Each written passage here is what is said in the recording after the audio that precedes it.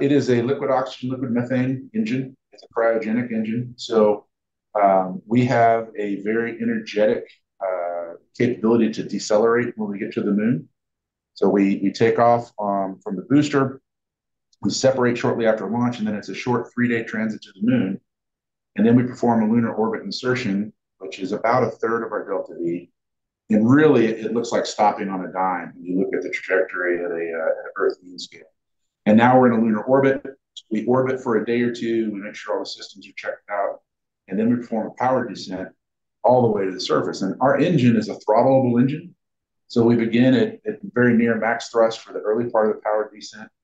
And then we pitch over and we throttle down. So we leave the engine on from the time we start power descent all the way to touchdown. We throttle down, throttle down. It's a very gentle ride.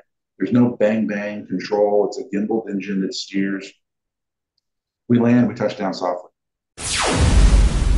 Your space journey